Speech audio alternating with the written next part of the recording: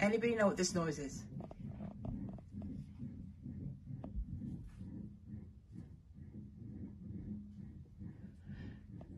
It appears to be connected to the air vents, but it also happens when the pool comes on. But there are neither vents nor, if you go outside,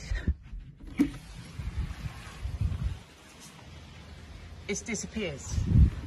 It happens here, like it's inside this wall. No, I've gone. Anybody? Anybody who's in some kind of construction recognize that noise? It's not good.